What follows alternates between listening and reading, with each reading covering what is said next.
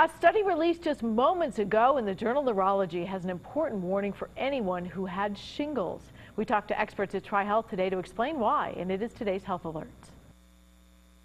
Shingles is when the chickenpox virus comes back out uh, through the nerves and usually comes out somewhere on the trunk and a very painful rash, usually decades later.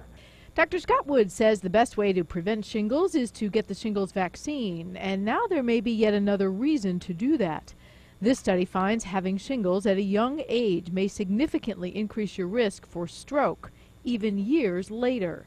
Those who had shingles between the ages of 18 and 40 were 74% more likely to have a stroke, a heart attack, or a TIA, which is a mini stroke, than those who got shingles when they were older. Researchers compared more than 100,000 people who had herpes zoster or shingles to more than 200,000 people of similar ages who did not have shingles to find this out. They say younger people who have had shingles should be screened for stroke risks, such as high blood pressure.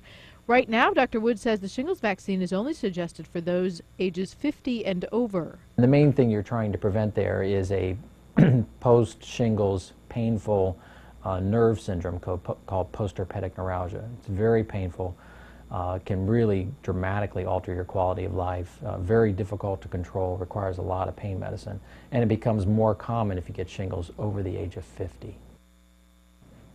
Now, researchers say that more studies are needed to know if the shingles vaccine should be given at a younger age to possibly reduce this risk for stroke and heart attack.